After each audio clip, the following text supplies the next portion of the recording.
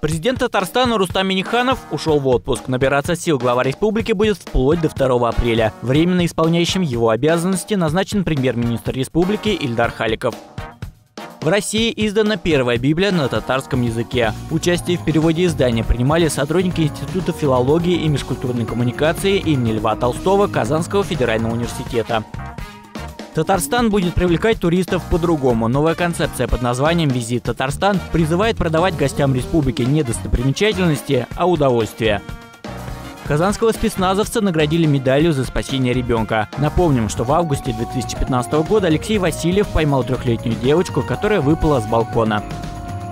Студентка Елабужского института КФУ стала педагогом года Удмуртии 2016. Победить в конкурсе Александре Матвиенко помогла разработанная ей программа по патриотическому воспитанию детей. Казанский «Зенит» третий раз подряд стал чемпионом России по волейболу. Эта победа стала восьмой за историю клуба. Казанцев призывает массово ездить на такси. Таким образом, горожанам предлагают сэкономить на проезде в общественном транспорте, который уже с 1 апреля подорожает до 25 рублей. КФУ будут готовить специалистов для исламского банкинга. Разработка новых программ обучения стала следующим шагом после запуска Центра партнерского банкинга в Казани.